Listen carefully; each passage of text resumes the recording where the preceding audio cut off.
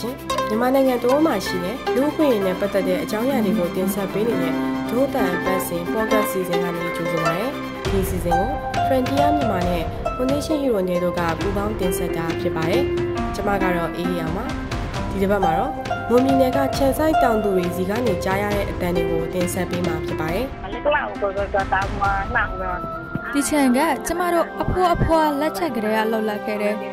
အခုကျမတို့လက်ချက်ရောက်တော့ကျမတို့လည်းဒီချန်ကိုပဲအမိပြုတ်ပြီးတော့စက်ပြိုးရဲလုပ်ငန်းတွေကိုလက်စစ်ကင်းလှုပ်လိုက်ခဲ့တယ်လေ။အခုလိုမျိုးဈေးထိုးကြတော့တော့မျိုးမကြုံဘူး။ရင်းမျိုးနဲ့တောင်းပိုင်းခေါစာမျိုးကတမယာချန်နဲ့ရာတီပေါ်တီးနှံချန်ရှင်မန်နီနီဖြစ်ပါတယ်။သူ့ရဲ့တစ်တီးချန်ကနေရတဲ့ဝင်ငွေတွေဟာဒီနှစ်မှာချိုးကျသွားတယ်လို့အစိုးရကပေးတဲ့ကိုဗစ်ချင်းငွေလည်းမရပါဘူး။သူ့လိုပဲဝန်ပြည်နယ်ကခြံဆိုင်သူအများစုဟာလည်းချင်းငွေရဖို့အခက်အခဲတွေရှိနေပါတယ်။ ဒီဆောင်မကိုတော့ Mon News Agency ကသတင်းသားဝန်ဆောင်မော်ကဆက်လက်တင်ဆက်ပေးမှာဖြစ်ပါတယ်။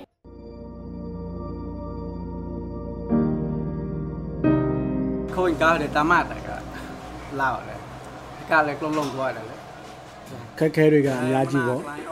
လမ်းတွေပိတ်ထားတဲ့ဆိုတော့ပစ္စည်းတွေတင်ပို့လို့မရဘူးပေါ့တမယာသီးတွေကအများကြီးများသလိုနဲရီနဲသလိုရောင်းလို့အဆင်မပြေတော့ပေါက်တူတယ်ခါတလေအလုံးကြီး1000 1000ခွဲလောက်ထွက်တယ် လောလောဆယ်တစ်လုံးကို20ကျပ်နှုန်းနဲ့ရောင်းနေတယ်ပေါ့ဒီကိုဗစ်ကာလမှာအသွာလာတွေကတ်တက်ခံတရတာတွေတည်ယူပို့ဆောင်ရေးမှာလေရက်ဆိုင်ထားရတော့ကျွန်တော်တို့လိုတတိချန်ကိုအားထားနေရတဲ့ချမ်ပီယံရှင်တွေရဲ့စီးပွားရေးခြေနေကအကောင်လုံးပျက်စီးသွားတဲ့အနေအထားရှိနိုင်တယ်ပေါ့နော်ဒါကတော့မွန်ပြည်နယ်ရေးချောင်းဖျားဒေတာဖလန်ချောင်းဝကျေးရွာတမယာတိစိုက်ပျိုးပြီးအသက်မွေးဝမ်းကြောင်းပြုနေတဲ့ချန်ရှင်တူဖြစ်တဲ့နိုင်ချနာအိမ်ကပြောပြထားတာပါ သူနေတဲ့မွန်ပြည်နယ်ရေးမြို့နယ်တောင်ပိုင်းမြောက်ပိုင်းနဲ့ရေးချောင်းဖျားဒေတာဘက်ကကျေးရွာတော်တော်များများဟာရာဘာကွန်တီမင်းကုတ်ဒူရင်တမယာတိစတဲ့ရာတီအတိစိုက်ပျိုးပြီးအသက်မွေးဝမ်းကြောင်းပြုနေကြတယ်လို့ရေလုံငန်းကိုလည်းလောက်ကင်နေကြတာပါရာဒီပေါ်တီးနှံတွေဟာဈေးကောင်းရချိန်ကိုစောက်ပြီးအချိန်ကြာကြာတိုးလှောင်ထားလို့မရပါဘူး။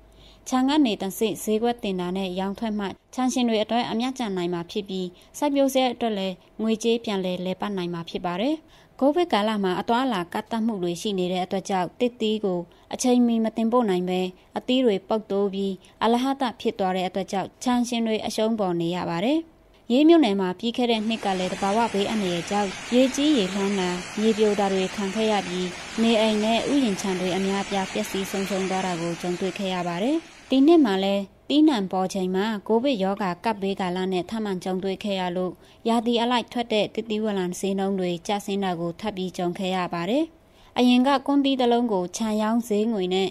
ကျပ်20ရောင်းရပေမဲ့ဒီနှစ်မှာတော့တဝက်စေး30ကျပ်လောက်သာရတော့တယ်လို့တမယာတီးကိုလည်းတလုံးကိုငွေကျပ်20လောက်သာရတော့တယ်လို့ခြံဆိုင်တောင်သူတွေဆိုပါတယ် ချန်ဆိုင်ပြိုးရေးအတွက်အလုပ်သမားကြေးပေးပြီးမငှားနိုင်တော့တဲ့အတွက်ကြောင့်အိမ်မှာရှိတဲ့မိသားစုတွေပဲဝိုင်းကူပြီးတော့စိုက်ပျိုးလာကြတာတွေလည်းရှိနေကြပါတယ်။ကွန်သီးနဲ့တမယာတီးချန်ပိုင်ရှင်ဖြစ်တဲ့နိုင်ချမ်းလိန်ကတော့လောင်ကလလာနှမ်းအားကတိတိုင်ဖော်ဒတ်မနေ့ကရေပင်းနဲ့ကြောင်ရတော့ခြံတွေအများပြည့်စည်သွားတယ်။ရေစီးကျန်းတာကြောင့်ကွန်သီးပင်တွေတံပြားပင်တွေပြိုကျကောင်းတယ်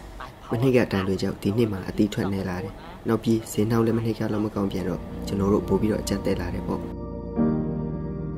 တီးနှံတွေကိုအဝေးပြေးလိုင်းတွေကနေတစိတခြားမြို့တွေကိုတင်ပို့ရတာဖြစ်ပါတယ်။ COVID-19 ကြောင့်ရေးကနေမော်လမြိုင်နဲ့တိုင်းနယ်ပြည်နယ်အသီးသီးကိုပုံမှန်ပြေးဆွဲနေကြတဲ့ရင်လိုင်းတဝက်ကျော်လောက်ဟာကားမထွက်တော့ပါဘူး။အကျိုးဆက်အနေနဲ့ကတော့မွန်ပြည်နယ်မှာရာသီပေါ်တီးနှံတွေအများအပြားရောင်းမထွက်ပဲစုပြုံကြန့်ရှိနေတယ်လို့ချန်ရှင်တွေတမကတစ်တီးအဝယ်တိုင်းတွေကလည်းငွေကြေးတွေအရှုံးပေါ်နေရပါတယ်။ ရာသီပေါ်တင်းနံတွေကိုဈေးကွက်အတွင်းရောက်ဖို့ခြံရှင်တွေကတစ်တီးအဝယ်တိုင်တွေကနေတဆင့်တင်ပို့ရောင်းချကြရတာဖြစ်ပါတယ်။ဖလန်ချဝကတစ်တီးအဝယ်တိုင်မအိဖြိုးကတော့တော့မနာတူတိုင်းမကူ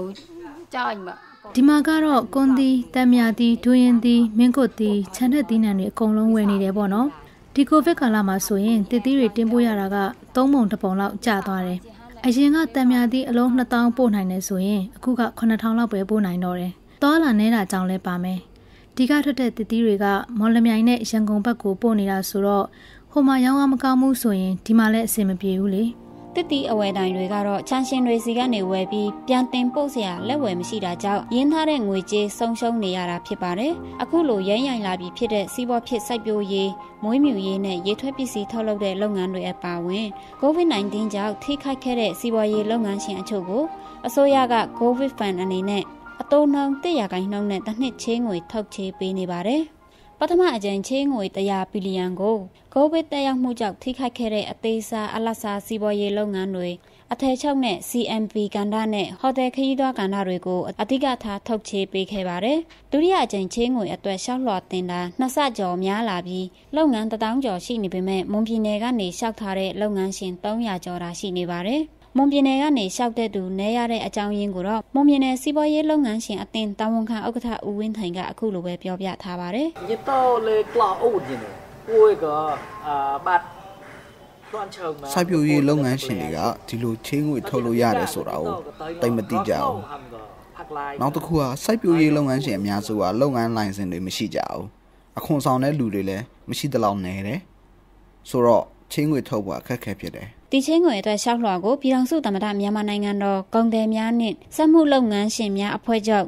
UMFCCI တိုင်းနယ်ပြည်နယ်ကုန်တယ်များနှင့်စက်မှုလုပ်ငန်းရှင်အသင်းယင်းနှိမြုံနှံမှုနဲ့ကုမ္ပဏီများညွှန်ကြားမှုဦးစီးဌာနနဲ့စက်မှုကြီးကြပ်ရေးနဲ့စစ်ဆေးရေးဦးစီးဌာနတွေမှရယူနိုင်ပါတယ်။ရှောက်လွှာနဲ့ပူးတွဲတင်ပြရမယ့်စာရွက်စာတမ်းတွေကိုတော့ UMFCCI နဲ့တိုင်းနယ်ပြည်နယ် CCI ရုံးတွေမှာပြန်လည်တင်ပြရမှာဖြစ်ပါတယ်။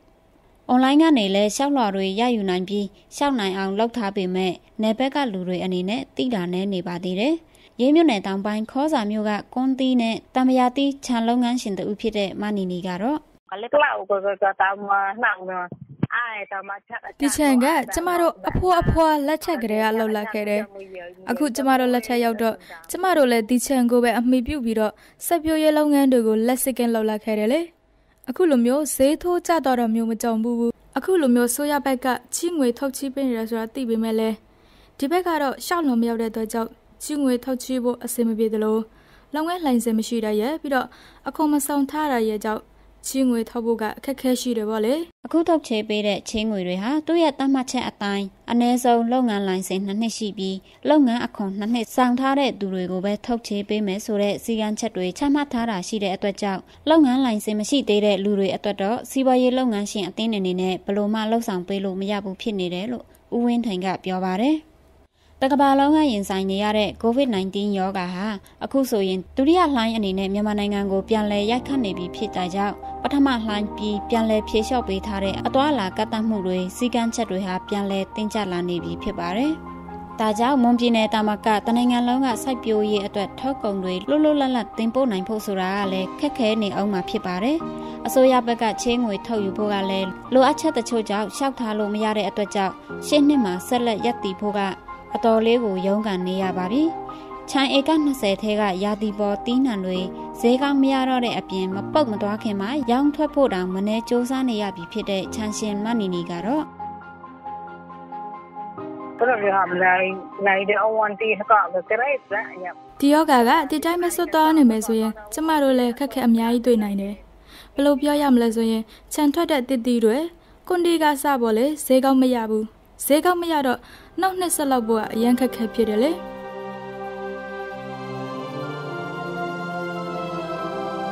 အခုတင်ဆက်ပေးခဲ့တဲ့အစီအစဉ်ကိုနားဆင်ကြကြရလို့ကျင်းနေမယ်လို့တို့အတန်အဖွဲ့သားတွေကမျှော်လင့်ပါတယ်ဒီအစီအစဉ်ကိုတင်ဆက်ပေးခဲ့တာကတော့ Moon News Agency ကဝန်ဆောင်မဒိုးတန်ကအေးအောင်ဇာနီနဲ့ဒိုင်ချင်းတို့ဖြစ်ပါတယ်ဒိုးတန်ပတ်စဉ်အတန်လွှင့်အစီအစဉ်ကို Friendia မြန်မာ website နဲ့ Facebook စာမျက်နှာအပြင်ဒိုးတန် Facebook စာမျက်နှာ SoundCloud YouTube အန်ကျူးတို့ကနေလည်းဝင်ရောက်နားဆင်နိုင်မှာဖြစ်တယ်လို့ VOA ကထုတ်လွှင့်တဲ့ရေဒီယိုအစီအစဉ်မှာလည်းစနေနေ့ည9:00နာရီကနေ10:00နာရီအတွင်းနဲ့တနင်္ဂနွေနေ့မနက်6:00နာရီကနေ9:00နာရီအတွင်းမှာလည်းနားဆင်နိုင်ပါတယ်။ဒီအစီအစဉ်ကိုမြန်မာနိုင်ငံဆိုင်ရာနယ်သာလန်တန်ယုံနဲ့ဆွစ်ဇာလန်ဖွံ့ဖြိုးရေးနဲ့ပူးပေါင်းဆောင်ရွက်ရေးအေဂျင်စီ STC ကပတ်မိုးကူညီချပြီး Frontier မြန်မာနဲ့ Foundation Hero နဲ့တို့ကပူးပေါင်းတင်ဆက်တာဖြစ်ပါတယ်။ နောက်ဘက်တွေမှာလည်းစောင့်မျှော်နားဆင်ကြဖို့ဖိတ်ခေါ်ချင်ပါတယ်။ဒို့အတန်အစီအစဉ်ကိုနားဆင်နေတဲ့အတွက်ကျေးဇူးအထူးတင်ရှိပါတယ်။မင်္ဂလာရှိသောနေ့လေးဖြစ်ပါစေရှင်။